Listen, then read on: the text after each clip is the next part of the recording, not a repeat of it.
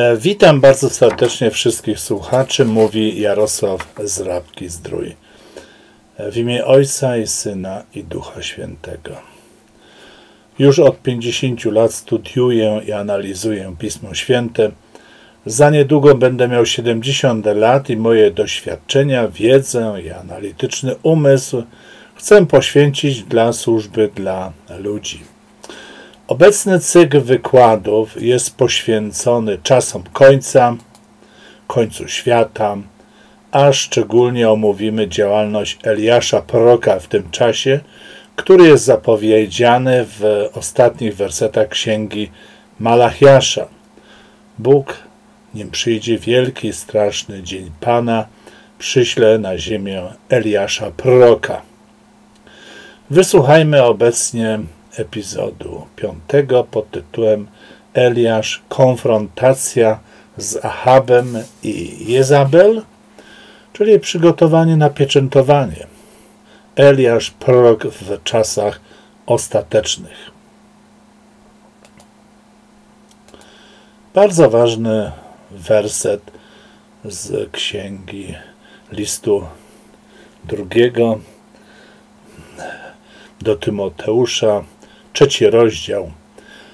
I ponieważ od dzieciństwa znasz Pisma Święte, które cię mogą obdarzyć mądrością ku zbawieniu przez wiarę w Jezusa Chrystusa, całe Pismo przez Boga jest natchnione i pożyteczne do nauki, do wykrywania błędów, do poprawy, do wychowywania w sprawiedliwości, aby człowiek Boży był doskonały, do wszelkiego dobrego dzieła przygotowany.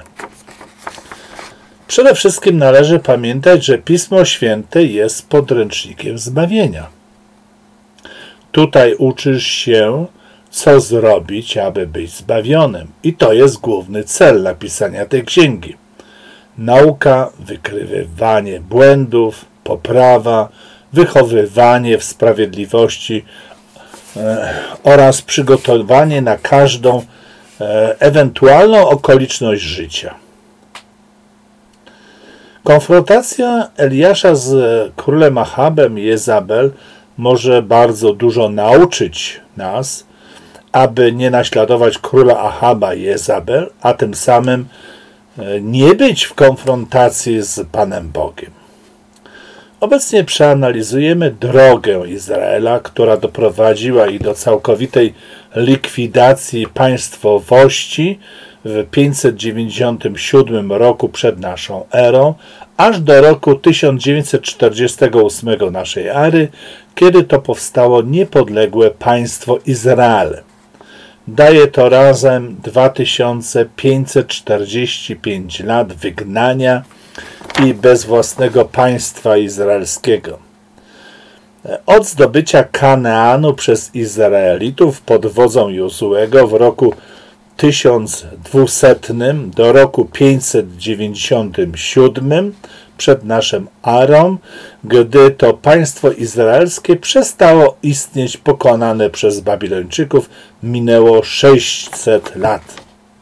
Jest to wielka tragedia tego narodu wybranego przez Pana Boga, a była ona spowodowana tylko i wyłącznie odstępstwem od prawa mojżeszowego i od praw i ustaw przekazanych Izraelowi na górze Choreb przez Pana Boga.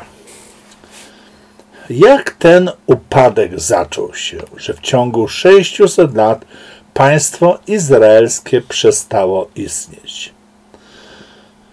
Początek procesu upadku Izraela jest opisany w pierwszej księdze Samuela. Samuel był prorokiem, kapłanem, ostatnim sędzią w Izraelu. Kiedy Samuel zestarzał się, to mianował swoich dwóch synów sędziami nad Izraelem. W tym momencie rozpoczął się problem, gdyż jego synowie nie chodzili drogami bożymi. Gonili raczej za zyskiem, brali datki i naginali prawo. Samuel nie reagował na skargi ludu, pogłębiając tym samym kryzys. Wtedy lud otwarcie wystąpił, że nie chce takich sędziów, lecz chce króla, jak to jest u wszystkich ludów dookoła. Pan Bóg zgodził się spełnić prośbę ludu, lecz zaznaczył, że lud wzgardził nim, by nie był królem nad nimi. Prawo mojżeszowe przewidywało taką okoliczność wyboru króla i dawało konkretne przepisy dotyczące władzy królewskiej. To są zapisane 5 Mojżeszowa, 17 rozdział.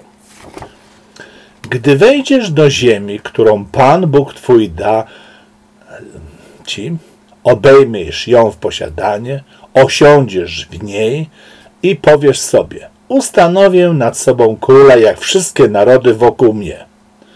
Ty możesz ustanowić nad sobą króla, którego Pan, Twój Bóg wybierze. Ustanowisz nad sobą króla spośród swoich braci. Nie możesz ustanowić nad sobą męża obcego, który nie jest Twoim bratem. Tylko niech trzyma, mm, nie trzyma wiele koni, niech prowadzi ludu, niech nie prowadzi ludu z powrotem do Egiptu, aby mnożyć sobie konie gdyż Pan powiedział do was, nie wracajcie już nigdy na tę drogę. Niech też nie bierze wiele żon, aby nie odstąpiło jego serce. Także srebra i złota niech wiele nie gromadzi, a gdy zasiądzie nad swoim królewskim troniem, niech sporządzi sobie na zwoju odpis tego prawa od kapłanów, lewitów i będzie go miał u siebie i będzie go czytał przez wszystkie dni swojego życia, aby nauczyć się bojaźni pańskiej, przestrzegania wszystkich słów tego prawa i spełnienia tych wszystkich przepisów, aby serce jego nie wyniosło się ponad jego braci i aby nie odstąpiło od przykazania ani na prawo, ani na lewo, aby był długo królem w Izraelu on i jego synowie. Samuel dodatkowo jeszcze wyjaśnił ludowi, co to znaczy mieć króla. To jest pierwszej Samuelowej ósmy rozdział. Tak więc rzekł, takie będzie uprawnienie króla, który będzie nad wami królował. Będzie zabierał waszych synów i sadzał ich na swoich wozach i rumakach, aby biegali przed jego wozem, aby byli nad dowódcami nad tysiącami i dowódcami nad pięćdziesiątkami, aby uprawiali jego rolę, sprzątali jego żniwo, sporządzali oręż i przybory do jego wozów wojennych, będzie zabierał wasze córki, aby sporządzały wonne maści, aby gotowały i piekły. Najlepsze wasze pola i winnice i gaje oliwne, zabierze i da swoim sługom, z waszych plonów i winnic będzie pobierał dziesięcinę i dawał z niej sługom swoim i dworzaninom najlepsze wasze sługi i służebnice, najlepsze wasze bydło i osły zabierze i zatrudni w swojej gospodarce. Na wasze trzody nałoży dziesięcinę, a wy będziecie mu zasługi. Pomimo tych wszystkich ostrzeżeń, lud trwał przy swoim postanowieniu: chcemy króla. Samuel, namaścił Saula na, na króla i wszystko przebiegało wspaniale. Pan Bóg przemienia jego serce w inne, dobre serce. Duch Boży, Duch Święty opanowuje Saula. Musimy tutaj jednakowoż pamiętać, że zło nie śpi. Nawet ten, który jest pod wpływem Ducha Bożego, może upaść. Godzina próba przychodzi na każdego z nas, aby opowiedzieć za lub przeciwko prawdzie. Sprawę tę przedstawia jasno Księga Objawienia – ponieważ zachowałeś nakaz mój, by przy mnie wytrwać, przeto ja zachowam cię w godzinie próby, jaka przyjdzie na cały świat, by doświadczyć mieszkańców ziemi. Przyjdę rychło, Trzymaj co masz, aby nikt nie wziął korony twojej. Księga Objawienia, trzeci rozdział. W ostatnich dniach na ziemi Pan Bóg podda próbie wszystkich mieszkańców ziemi. Cała ziemia opowie się przeciwko prawdzie, lecz tylko 144 tysiące opowie się za prawdą, gdyż od wielu lat zachowują przykazania Boże i Boże prawa. Saul opowiedział się przeciwko prawdzie. Kiedy to nie spełnił nakazu Bożego w czasie wojny z Amalekitami, dodatkowo wymordował 85 kapłanów z kapłańskiego miasta Nod i wszystkich mieszkańców tego miasta, miasta, dorosłych i dzieci. Od tego czasu nieposłuszeństwa Bóg odrzucił go jako króla, a Saul znalazł się na śliskiej drodze wiodącej w, przejść, w przepaść. Król Saul znalazł się na samym dnie, kiedy postanowił udać się do wróżki w Endor, aby mu powróżyła. Pan Bóg ostrzegał, kto zaś, odw- z, kto zaś zwróci się do wywołaczy duchów i do wróżbitów, by naśladować ich w cudzołóstwie, to zwrócę swoje oblicze przeciwko takiemu i wytracę go spośród ludu. Ten przepis jest ciągle aktualny, nie został on zdezaktualizowany. Księga Malachiasza wyraźnie mówi: Pamiętaj e, na zakąt mojżeszowy i na prawa i ustawy, które mu przekazałem. Te dodatkowe prawa i ustawy też zawierają zakaz chodzenia do wróżek, do wróżbitów. Saul od samego początku nie spełniał prawa królewskiego. Nie czytał codziennie tych cennych nakazów, które uratowałyby go przed upadkiem w grzech. Upadek przywódcy przerodził się w upadek społeczności izraelskiej. Po 150 latach rozpoczęły się mroczne czasy panowania Ahaba i Jezabel. Izrael już nie był posłuszny Panu Bogu, lecz obcym Bogiem, Baalowi i Asztartę. Bałwochwalstwo opanowało umysły Izraelitów. Za 250 lat Izrael straci państwowość na ponad 2,5 tysiąca lat. Eliasz w konfrontacji z królem Ahabem Jezabel przegrał. Siły zła triumfowały. I tak będzie zawsze. Musisz przygotować się na triumf zła który będzie trwał aż do końca świata, kiedy to siły dobra pod przewodnictwem króla królów i pana panów zatriumfują i to wiecznie. Pan Bóg uświadomił Eliaszowi, że zawsze jest mała grupa wiernych, którzy nie oddali się siłom zła. Zło całkowicie nie zatriumfuje. Pismo Święte zachęca w takim przypadku do napominania. Będziesz gorliwie upominał bliźniego swego, abyś nie poniósł za niego grzechu. Trzecia Mojżeszowa, dziewiętnasty rozdział. Lecz kapłani, króleowie i wszelkiego rodzaju przywódcy nie lubią napominania i krytyki. Nie lubią kontroli nad sobą. Nawet jeśli to mówią prorocy z nakazu samego Boga. Nie możemy zapomnieć, że jesteśmy ciągle w stanie wojny z siłami zła.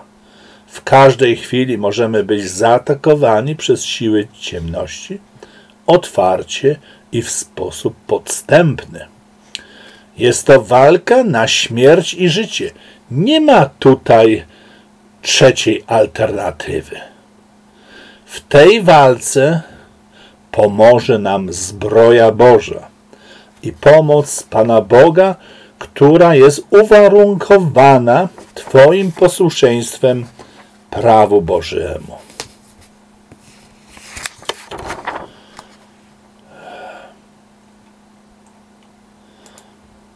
Końcu, bracia moi, umacniajcie się w Panu i w potężnej mocy Jego. Przywidziejcie całą zbroję Bożą, abyście mogli ostać się przed zasadzkami diabelskimi. Gdyż bój toczymy nie z krwią i z ciałem, lecz nadziemskimi władzami, ze zwierzchnościami, z władcami tego świata ciemności, ze złymi duchami w okręgach niebieskich, dlatego weźcie całą zbroję Bożą, abyście mogli stawić opór w dniu złym i dokonawszy wszystkiego ostać się. Stójcie tedy opasawszy biodra swoje prawdą, przywdziawszy pancerz sprawiedliwości i obuwszy nogi, by być gotowym do zwiastowania Ewangelii pokoju. A przede wszystkim wejście tarczę wiary, e, którą będziecie mogli zgasić wszystkie ogniste pociski złego. Wejście też przyłbicę zbawienia i miecz ducha, który jemy Słowo Boże. W każdej modlitwie i prośbie zanoście o każdym czasie modły w duchu i tak czuwajcie z całą wytrwałością i błaganiem za wszystkich świętych. List do Efezjan, szósty rozdział.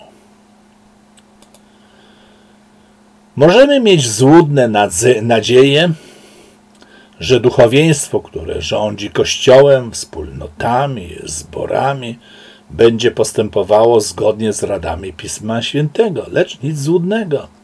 Każda władza korumpuje, a ta władza kościelna tak samo korumpuje, czego dowodem jest historia chrześcijaństwa i współczesne praktyki, afery kościelne. Kościoły opanowane są przez żądzę pieniądza, bałwochwalstwo i spirytyzm, a jeśli nie ma u nich bałwochwalstwa, to siły zła w inny sposób skorumpowały Kościół. Przywódcy rządzą Kościołem według własnego widzimisię, a nie według praw zapisanych w Piśmie Świętym. Tak jak król w Izraelu musiał mieć własną kopię praw Bożych, aby je studiować codziennie, aby napominać lud, aby być biegłym w prawie, przebywać wśród męców, starców i biegłych w prawie, aby dobrze i sprawiedliwie rozsądzać sprawy ludzkie. Tak samo współcześni przywódcy muszą studiować w grupie wśród męców i osobiście prawo Boże czytać na okrągło. Zdecydowana większość przywódców tych najwyższej sortu, generalna konferencja, ciało kierownicze, magisterium kościoła, synody i inne centra kościelne nie znają praw, które przekazał Bóg Mojżeszowi, a za to dobrze znają przykazania kościelne, prawa kanoniczne, statuty kościelne, kredo kościelne, które jakże często nie są napisane w duchu Pisma Świętego przez tych, co pożądają coraz większej władzy dla siebie. Ciągle zmieniające się ich prawa zawsze na korzyść duchowieństwa. A wszelka zmiana jest zawsze firmowana Duchem Świętym. Tak postanowił Duch Święty. Modliliśmy się i tak dalej. W przeciwieństwie do tych praw kościelnych wymyślonych przez ludzi omylnych i nie dających się poprawić, prawo boskie musi być przyjęte lub odrzucone w całości. Nie ma jakiegoś kawałkowania go. Albo wszystko, albo nic. Katechumeni są uczeni wszystkiego, tylko nie praw bożych. Uczeni są jakichś ceremoniałów, bo według nich one nie obowiązują w Nowym Przymierzu. Nie daj się zwieść tym zwodniczym słowom. Pan Bóg, oprócz tego, że przemawia przez swoje słowo, to znaczy Pismo Święte, przemawia przez natchnionych Duchem Świętym proroków. Prorok zwiastuje proroctwo, które jest czynione nie z mocy ludzkiej, a z natchnienia Bożego. Nieznanych przeszłych wydarzeń, teraźniejszych lub przyszłych, Prorokiem jest ten, który objawia śmiertelnikom nieznane rzeczy o przeszłości, teraźniejszości i przyszłości, nie dlatego, że czerpie to z ludzkiego poznania, z własnego umysłu, ale dlatego, że został natchniony przez Pana Boga, przez Ducha Świętego. Zapomniane przykazanie Pana Boga. We wszystkich Twoich miejscowościach, które da Ci Pan, Bóg Twój, ustanowisz sobie sędziów i nadzorcą dla każdego plemienia, aby sprawiedliwie sądzili lud. Nie będziesz naginał prawa, nie będziesz strodniczy, nie będziesz brał łapówki, gdyż łapówka zaślepia oczy mądrych i zniekształca sprawy tych, którzy mają słuszność o sprawiedliwości, li tylko o sprawiedliwość będziesz zabiegał. Aby zachować, zachował życie i utrzymał w posiadaniu ziemię, którą ci da Pan Bóg Twój. Piąta Mojżeszowa. Wbrew tym Bożym nakazem stała się straszna rzecz nastąpiło skorumpowanie za czasów Achaba i Jezabel prawa Bożego. Król Achab, Jezabel skorumpowali izraelski system sądowniczy, który już nie służył sprawiedliwości, lecz służył interesom króla Achaba i Jezabel. Ten nikczemny mord na Jezreelczyku na bocie dokonany przez obywateli jego miasta, jego znajomych, jego starszyznę, przez jego przedniejszych obywateli, którzy nie kierowali się prawem, lecz rozkazem Jezabeli, która, który brzmiał wyraźnie. Zróbcie wszystko, fałszywych proroków, fałszywych e, świadków, aby ukamienować Nabota. Podobna sytuacja była w czasie procesu Jezusa, gdzie arcykapłani, starsi, uczeni w piśmie, powołali fałszywych proroków, aby skazać Jezusa na śmierć. W historii chrześcijaństwa zostało skazanych na śmierć w ten sam sposób wiele milionów wiernych Panu Bogu sług. Każdy z nas został stworzony na obraz i podobieństwo Boże. Dlatego przez posłuszeństwo Jego boskim prawom i życie w społeczności z Panem Bogiem pomnażamy chwałę Bożą na ziemi. W takim razie jest bardzo ważne pytanie: jak żyć w tak upadłym kościele? musisz stwierdzić z dużą dozą prawdopodobieństwa, że z Twoim kościołem dzieje się też coś niedobrego, że jest to bardziej widoczne lub mniej. Jeżeli cały świat będzie opanowany przez wielki Babilon i fałszywego proroka, a tylko mała grupa ludzi, 144 tysiące, nie będzie zwiedzona Czyli byśmy mogli powiedzieć, jedna osoba na 70 tysięcy ochroni się przed tym zwiedzeniem. Objawiony antychryst przed swoją nadzwyczajną zręczność połączy wszystkie wyznania i państwa w jedno pod sztandarem wielkiego Babilonu i fałszywego prorokach. Ich poddani przyjmą z radością unikalny znak, głosząc, że nie ma żadnego innego znaku, przez którego byliby ocaleni. Spełnią się marzenia budowniczych wieży Babel. Nurze, zbudujmy sobie miasto i wieżę, której szczyt sięgnąłby aż do nieba i uczyńmy sobie imię, abyśmy nie rozproszyli się na całej ziemi. Pierwsza Mojżeszowa, 14 rozdział. Wszyscy przyjmą imię o tajemniczym znaczeniu. Wielki Babilon, matka wszetecznic i obrzydliwości ziemi. Wszyscy przyczynią się do budowy wielkiego Babilonu i wieża, która sięga aż do samego nieba, a na szczycie tej wieży jest wielki biały tron, na którym zasiada Antychryst. Ludzie nie będą świadomi, że wykonują zadania inspirowane przez smoka. Tylko 144 tysiące nie chce przyjąć tego fałszywego znaku zbawienia, będąc pouczonymi przez Eliasza. Stoczą wówczas duchową walkę z Babilonem i fałszywym prokiem i nie ugną się. O nich powiada Apokalipsa. Tu się okaże wytrwałość świętych, którzy przestrzegają przykazań Bożych i wiary Jezusowej. Tym samym Eliasz, prorok, wypełnił dobrze swoje dzieło przed wielkim i strasznym dniem Pana.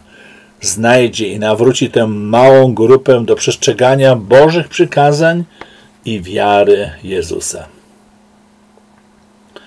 Pismo Święte daje prostą radę. Ludu mój, wyjdź z Babilonu, bo Babilon upadł, a będąc w Babilonie, jesteś uczestnikiem jego, jego grzechu.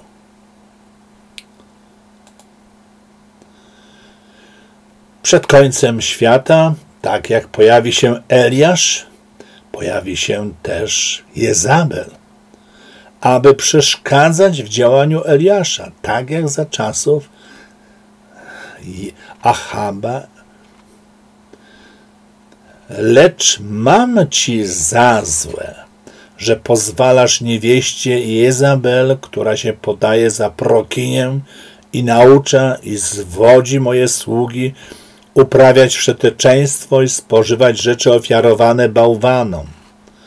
I dałem jej czas, aby się upamiętała, ale nie chce się upamiętać we wszeteczeństwie swoim, to też rzucę ją na łoże, a tych, którzy z nią cudzołożą, wtrącę w ucisk wielki, jeśli się nie upamiętają w uczynkach swoich.